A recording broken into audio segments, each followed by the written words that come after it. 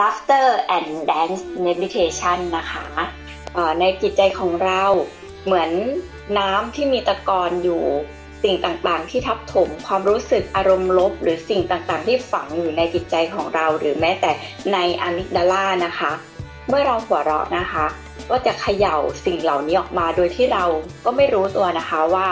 เอ่ออะไรมันออกมาบ้าง พอเราหัวเราะแล้ว เราก็ได้ปลดปล่อยออกมา และที่สำคัญในการหัวเราะนะคะ มันก็เหมือนกับตะกอนที่เราน้ำที่มีตะกอนอยู่ แล้วก็คนคนคนคนคนพอตะกอนน้ำมันกระเฉาะออกไปนะคะ น้ำมันไหลออกไป มันก็ยังคงมีตะกอนค้างๆอยู่ที่ยังไม่หมดนะคะ เพราะฉะนั้นในกระบวนการฝึกโยคะหัวเราะนะคะ การกราวดิ้งทำให้สงบลงเป็นสิ่งที่สำคัญมากๆนะคะ ที่จะทำให้ตะกอนที่ยังค้างๆอยู่นั้น สงบและตกตะกอนลงมานะคะทำให้เราดำเนินชีวิตแต่ละวันได้นะคะ เพราะถ้าเกิดว่าเราหัวเราะแล้วเราไม่กราวดิ้งนะคะ อารมณ์ต่างๆ ก็จะยังคงค้างอยู่ นั่นอาจจะเป็นเหตุผลทำให้ทำไมหัวเราะแล้วอาจจะหงุดหงิดมากกว่าเดิม หรือว่าอาจจะมีอารมณ์ความรู้สึกต่างๆ เกิดขึ้นที่ที่มากกว่าเดิมนะคะ ซึ่งก็อยากจะให้ทุกคนเมื่อฝึกโยคะหัวเราะแล้วนะคะ ก็ให้ความสำคัญกับการกราวดิ้งด้วยนะคะหายใจเข้ากลั้นไว้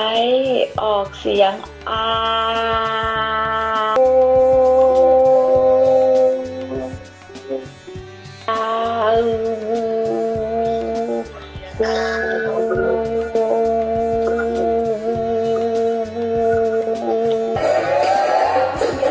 ไปตามความรู้สึกของเรา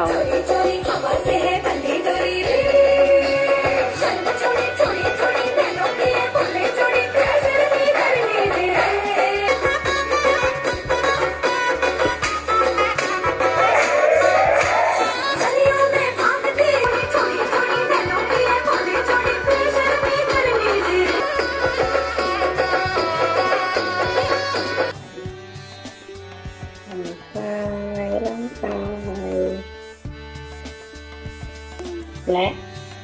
ฟังเสียงตามลมหายใจนำฝ่ามือทั้งสองข้างมาถูกันให้เกิดความร้อนค่ะถูให้เร็วขึ้นและแรงขึ้น และนำฝ่ามือทั้งสองข้างมาประกบที่ใบหน้าค่ะ